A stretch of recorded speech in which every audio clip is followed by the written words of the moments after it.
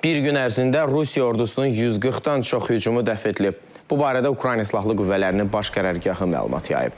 Bildirilib ki, Rusiya ordusu əsas səylərini Kupyansk, Baxmut və Avdiyevka istiqamətlərində cəmləşdirib. Rusiya Müdafiə Nazirliyinin məlumatına əsasən isə Ukraynaya məxsus canlı qüvvə və hərbi texnikanın cəmləşdiyi 117 ərazi vurulub.